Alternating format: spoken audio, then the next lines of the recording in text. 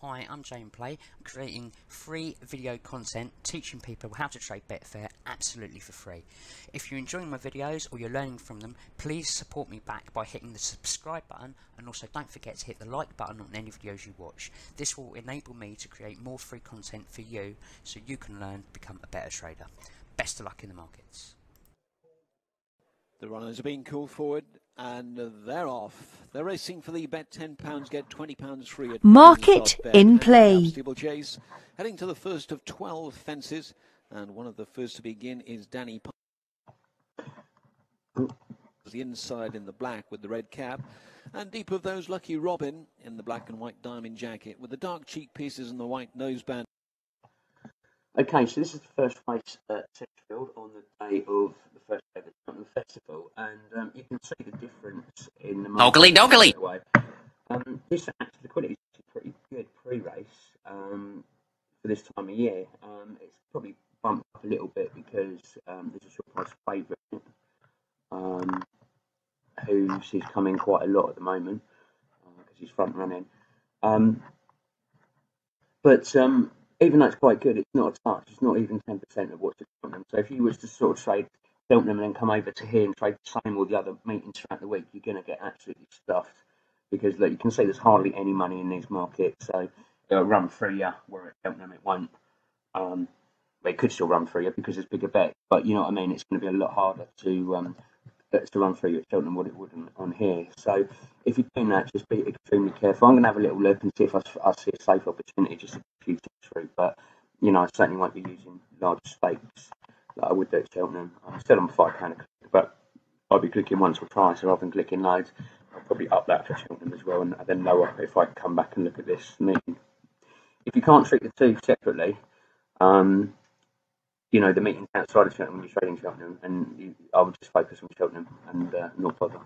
But I'll have a little look anyway and see what happens. By a length. So going past us with a circuit left to travel and about to swing left-handed to face up to the cross fence, which is going to be fence number six. You say nothing leads them out into the country by three parts of a length to Danny Park racing second. Lucky Robin just encouraged for a stride or two on that turn, still prominent out wide. Astravia is next as they close in on the sixth fence. Obey the rules towards the inside of Astravia, who just got a reminder there, Astravia, and another one as they swing the turn into the back stretch. Little Orange still at the back of the field. You know, a couple little trades like this, it helps spread up. You get a few 130s or whatever through the week or Next up is fence number seven, right opposite the grandstand. Spread up. All adds up. Helps towards your profits at the end, you know. Little Orange is still behind. How I look at it, but it is a lot more dangerous. I mean, 138 only puts the track through, so it now and over in front. Was the first to rise. But you can see, so much to that favourite, this price going to come crashing, and there's hardly any money there. Now reminders for Lucky Robin in third position. Obey the rules is trying to make some ground up behind those as they go to the open ditch. Four out, fence nine.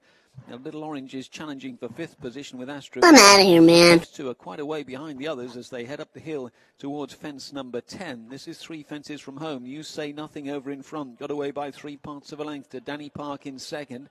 A gap of seven or eight's opened up to Lucky Robin and then obey the rules to the inside. Little Orange is behind Picks those. up for two quick there. Astrovia and I must have got matched for thousands. Let's hope the, the let's hope the favourite falls because if he does, I'm out of man.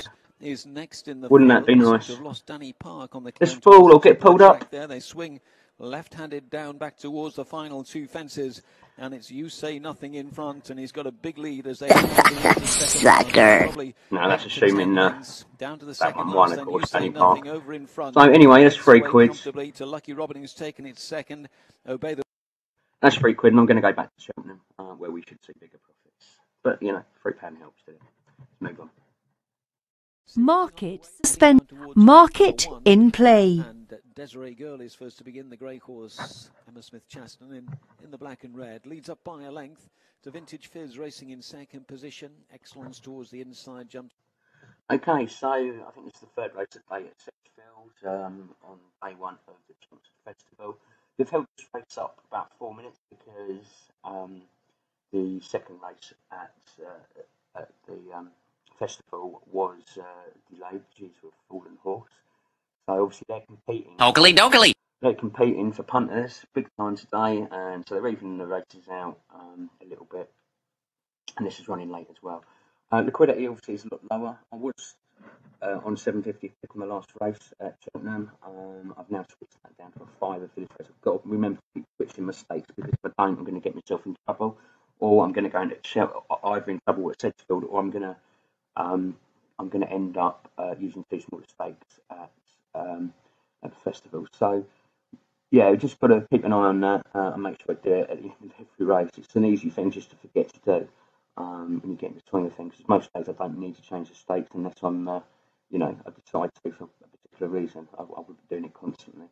So anyway, we'll see if we can pull a few ticks off this one. Got to be a lot careful. Got to treat it differently to uh, uh, to the festival because otherwise, um, if I treat it the same, put the same bits, few stakes through, I'm going to end up getting smashed.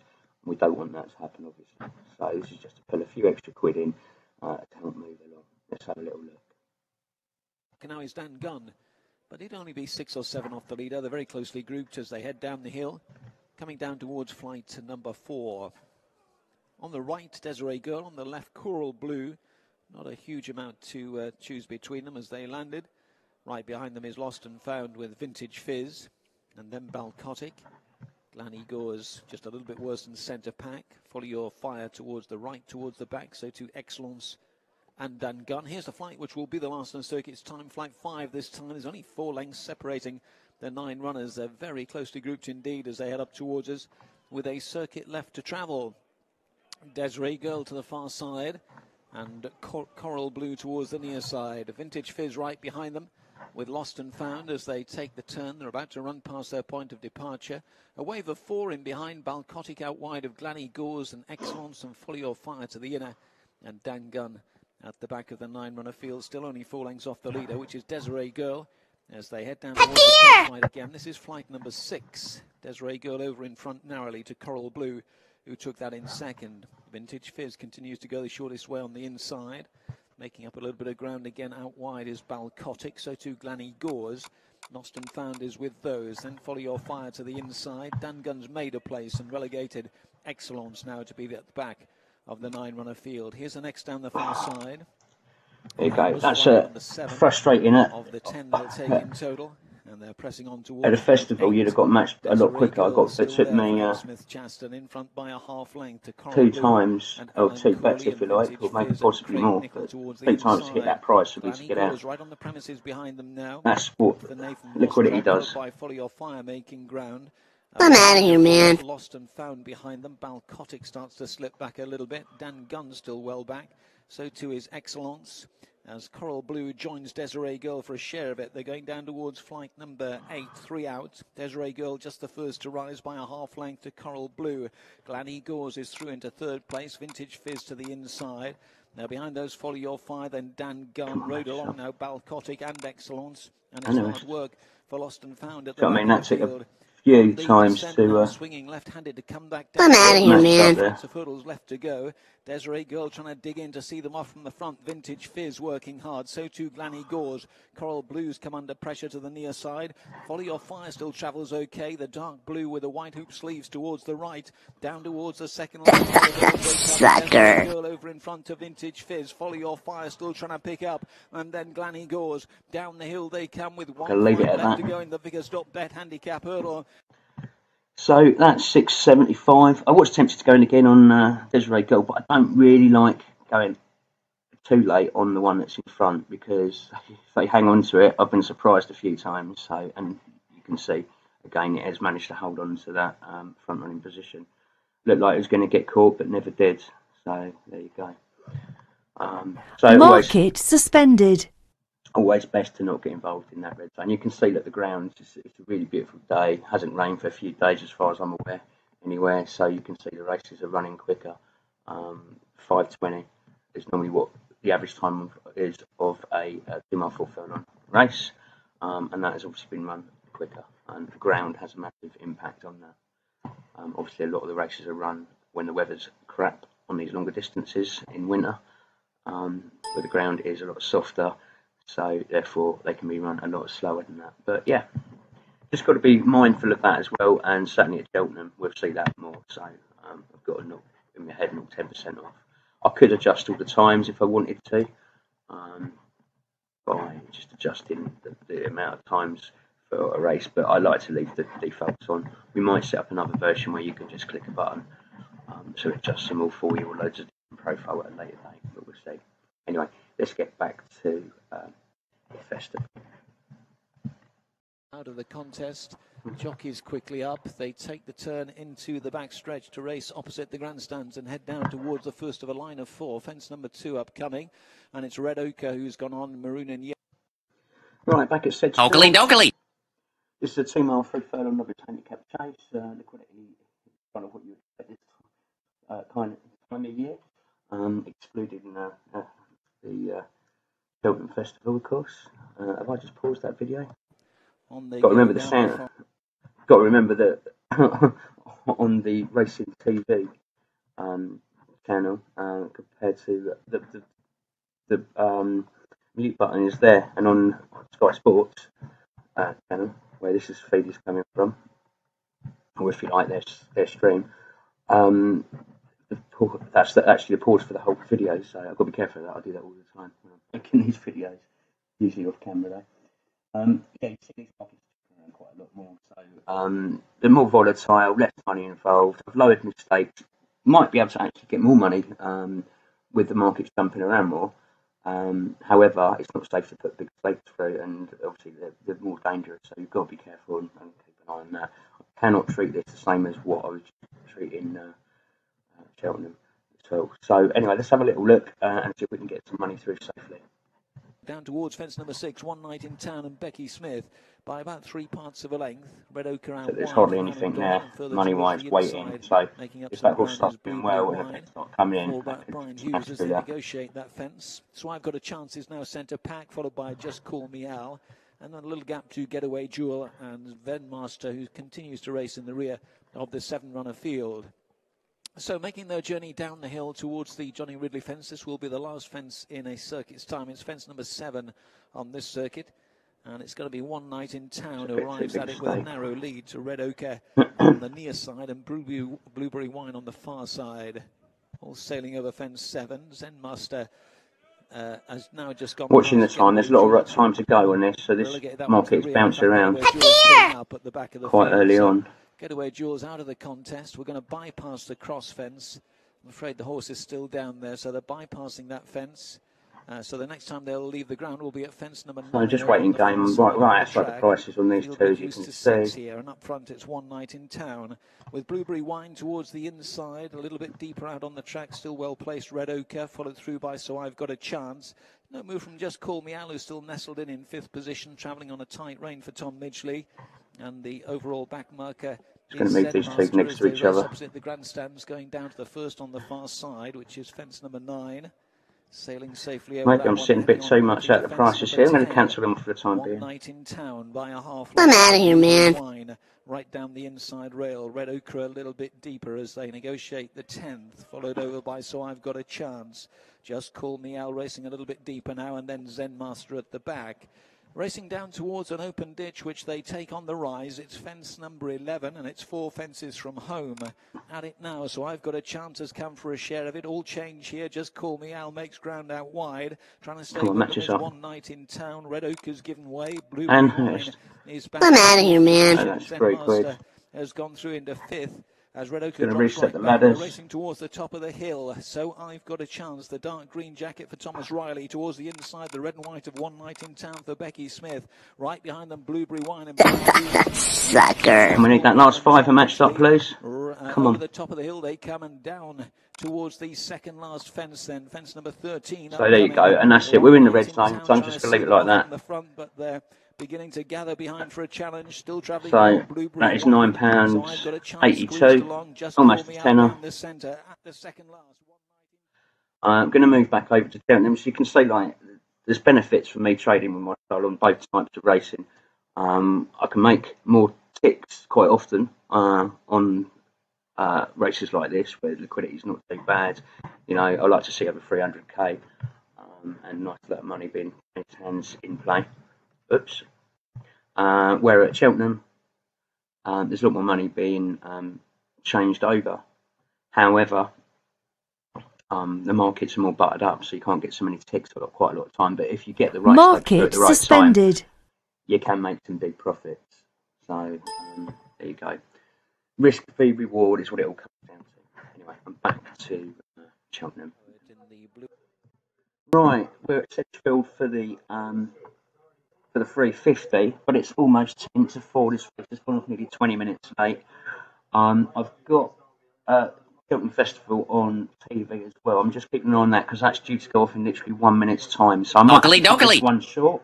I cannot imagine they're going to hold Cheltenham up um, for this race. No idea why it's so late. It's ridiculous. There's only two meetings today and they can't get them to run off. So if Cheltenham starts on TV, I'm just going to switch off this one and, and flick across to there.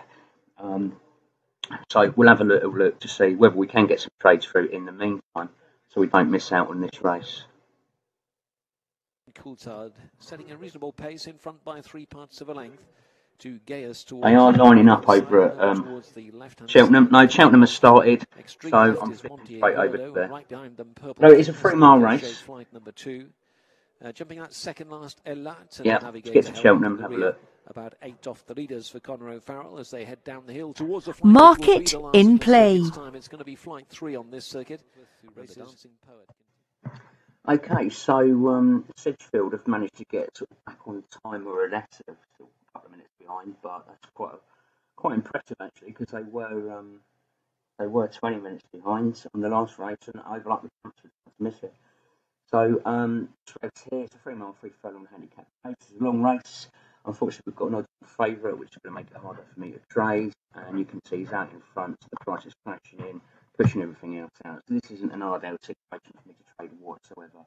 This is the runner I would have been looking at, but you can see that he's gone out massively in price at the moment. So he'll still come back and win the race. There's a, a long way to go. Jesse Lightfoot, wherever it is, uh, over there on the rail there. Um, so we'll have a little look. I'm not interested in the favourite. This might be a spectator sport for me, but if I could see an opportunity, I will put some money in there. Um, at the moment, I've still got that on 750 a tick from Cheltenham. Change that back. It's okay. That's free trades. So um, yeah, I'll have a little look and see if I can make some money out of this. But the chances of it, I don't know. Whether it happens or not, we don't know. The shortest way for Charlie Hammond towards that inside rail. A couple of lengths back to Furax, who's next in the field. So just a waiting game, really. Just waiting to see if the price Game line down to up a little bit of ground deep on the track. Almost joins Jesse Lightfoot towards the back as they negotiate fence six. All over that. You've got to be careful with the timing. Anything happens to headed favour, we're going to be in a lot of trouble here because this price is going to come crashing in. await them over there. Next up is fence number seven, which is right Wait for these would and powerful position shows the way by just over a length. Wiggles within second as they negotiate the first down the far side. Uh, Wigglesworth would probably come crashing in, yeah, it's in second, so we'll, we'll see. But we don't want to be Lightfoot in at the end because if the favourite doesn't win it, obviously it's probably going to be one of these two that turn over. as they head to another plain fence. Just noticed that Game now line in is coming down in price as well. But look, there's hardly any money, so that market could move too quick through me. Next up is the open ditch once again, then fence number nine on this circuit. Extremely careful here. down towards it, pricks his It's a long way to go though, so and pops happy over to go in there. length to Wigglesworth and Game Line, who are now sharing second position. because And such a long way to go, I'm happy to go towards the next fence, fence number to go in for a bigger stake. But obviously, even though there's little money there, just because it's, away by a it's couple. so far for the race to run, it's still like you know two miles left or something in this race. It's not even halfway into three three lengths so to and then a similar I'm going to cancel to it off because it's too far out of back of the contention now. So Reached at towards the the top of the ladders, hill they go and you once again, see and about to Game swing Line off is coming as second top favourite. On the descent back towards the home straight, two fences in the home straight await them before they set off on the final circuit. Next up is going to be fence number 11, which is the You see, well, the favourite is running so well now. up front. Powerful position, and Jack Tudor have made just about The price is just far well short. at the well 11th. short. It's holding Getting over nine so much of the market. Took that in second place. At even money, a horse holds 50% of the market, so at that price, continuing to race a little bit wider for James Bone. That's holding. Slightly better ground. Furax behind 70% or something, back of the field, Rainfee and Jesse Lightfoot. 70% of the book, so from that one, something like that. Eight off the leaders. As they continue their journey down towards fence number 12, this will be the final fence in the circuit's time. Powerful position towards the far Right, side. it's a quick three quid there. the Side almost came for a share of it. Will Just picked up bottom of the up well market. between horses. Furax behind them. Just Shame we didn't go for pick Mark up a little bit six. Smith as they go past us. Rainfee to the inside and Jesse Lightfoot at the back. So swinging left-handed away they go. So the price you see on the favourite has gone out a bit. The cross fence. It's So- fence number 13 of the 19. Prices on the others have come in. Powerful position being joined. I'm out of here, man. His favourite is literally controlling the whole market. It's what you've got to consider when you've got these uh, sort of price favourites. Game nine has gone out massively.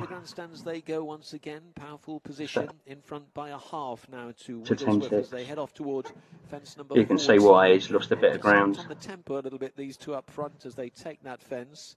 Flying over by is four a long way lengths back go. behind them. Game line and Ray Fee jump together. A gap's developed to Furax of about eight lengths and three or four more to Jesse Lightfoot as they press on to another f- plain fence down the far side. Lovely leap by powerful position. Wigglesworth also took it well.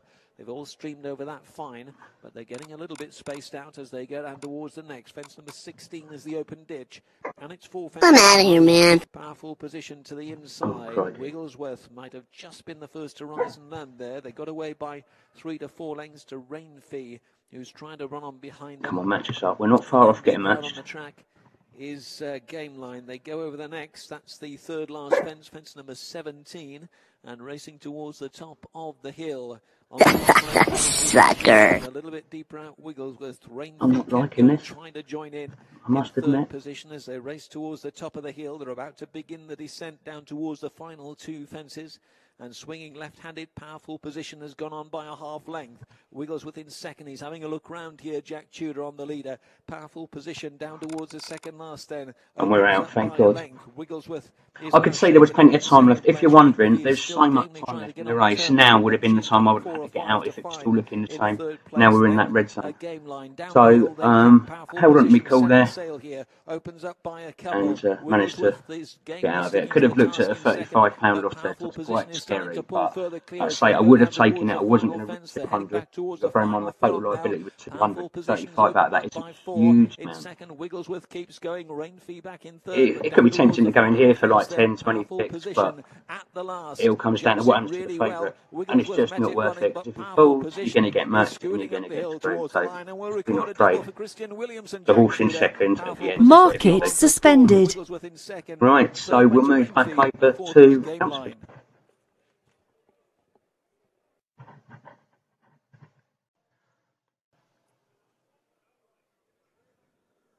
been called in. Market And that's it. We're ready. suspended. They're off. The Market racing for the in play. with Vickers.bet Open National Hunt Flat Race. They've got two miles and a furlong to cover. And up front, Duke of Deception is first to begin in the pink jacket with a black star, black sleeves with pink stars on the Okay, we have the 10 past 5 at Sedgefield. Um, this is on day one of the Cheltenham Festival also going on. Um, this is a national hunt flat race, or if you like, a bumper. Um, market liquidity is actually pretty good. Oakley dokley. Race. I imagine it's been boosted a little bit from people betting on um, Cheltenham and also having a little look at this as well. But um, even still, can't treat it um, like you do um, Cheltenham Festival. Um, got to switch strategies almost. I say strategies, it's more a case of switching sort of stakes really. So I've switched down to five pound. I've been using seven fifty a click over at Cheltenham, just using five pound a click here. I'm also doing more clicks at Cheltenham as well, so trying to get through what I can. Although in the last race over there, I just noticed afterwards I used fivers, so I had a smaller profit. Anyway, so we've got to be careful on this one. Um, there's three horses I'm interested in really, uh, which is the second, third, and fourth favourite, possibly the, uh, this one as well, um, if the price dips in a little bit. So we'll have a little look uh, and see if we can pull off a few tips uh, in a safe manner, of course. the win between horses. And Royal Sam and Adam Wedge to the near side. So this looks like turning into a two-horse race at the moment. Blue and red for Jack Tudor. And as far as the deep market's next to him with concerned. Max Kendrick and Carwheel Fungi near side for Ryan Mania. It's not exactly what I narrow back of the tablet and Joe Williamson. Four lengths separate the seven runners then. All to play for here as they race past us and swing a left-handed turn to race into the So, country towards There's the some big money floating around down here, so I'm just going to try and get in front of it. Might just have gone back to lead here to Glory Bridge to the Let's see if we get a dip down, Three deep of those basically in price to pick us up and matches both sides of the book. Um, and if it does go So through us, we've got 200 there, 126 there, King 650 there. If that money stays in the market, tablet's still at the parts of it, seven-runner field, but and it goes wrong, we can get out against it. So opposite the grandstands they go, turning left-handed to race the far side of the track. No marked increase in the tempo, but they went a good pace from the get-go. And on the near side, Glory Bridge has it by about a head. The price is quite a bit higher than that at the moment, but there's hardly any money. Length back to There's a few little chunks of 50, 28 there, Scorpion King in 40s, but there's not a lot of big chunks in between, so that could easily just flip down. Hundreds come in there, at the back. They're which will hold the market up, obviously. Pace just quickening a little bit here, but only Just over halfway through the race. Continues to separate all seven runners as they continue down the far side. Almost four in line now on the inside. More chunks of money on this Next runner than there Duke is of on the deep of those Glory Bridge. Royal Salmon. Four deep Car Wheel Fungi. I'm out of here, man. Right on the premises Have a quick look at with Cal the Funky, see Scorpion what that's doing. And so too TikTok to the inside. So there's not a lot of money there, unfortunately. I would go in at sixes, but of the hill for the final time. Glory Bridge holding that inside rail, Brian Hughes. but you can see how quickly that market can move. If we get it wrong, it'll go through us. deep. A tap down the shoulder for the Scorpion King. TikTok just shadowing the leaders on the inside rail. Carwheel Fungi just gets a bit of a squeeze. Gonna on reset the ladders. I'm outta There's here, man. over here. Swinging down Sam, the hill, don't then forget. back inside the final Might as well drop that furlongs tick, they 'cause it's empty there. Level up for home. Glory Bridge still right there with Duke of Deception. Royal I want a Sam few more coming ticks now, wide. and a bit later on, the if we do get King matched. Sucker. Between horses. Doesn't look Therefore, like we will. Carwheel Fungi and the tablet at the back. Down So, the hill they unfortunately, no trade on this race. The final two, and on the far side, And, Glory um, Bridge, near side, TikTok trying to quicken. It's the way it goes sometimes. You've got to know when to sit on your hands. Too dangerous to go in now. on the right Didn't get an front by a couple of opportunity. lengths as Didn't go inside. trade. The final furlong, Glory Bridge booting Now, um, this might make for a boring TikTok video, trying hard in second, but it's a so too the lesson everyone needs to learn. You really do need to know final half is when to sit on your going hands and do nothing. and will notch a after for to Donald prime McCain and example. Brian Hughes. Glory Bridge wins the Market suspended. Most people overtrade, and uh, overtrading is a bad thing because if you just chuck in um, trying to get money through the market willy nilly without any kind of thought or game plan, um, then you will you will lose. Even if you're trying the same strategy as me, but you know you're not planning when you're putting the, the, the money through the market when it's safe to what is good value. Um, so I was going to, uh, if you remember earlier on, above that money where it's safe. Um, I thought that was good value and safe. Didn't quite come down to me. Didn't quite get matched, but you know, it's the way it goes sometimes. Right, I'm going to switch back over to uh, Cheltenham now. Um, that will be on a separate video. So if you're interested in seeing how Cheltenham goes in comparison, please watch that video as well.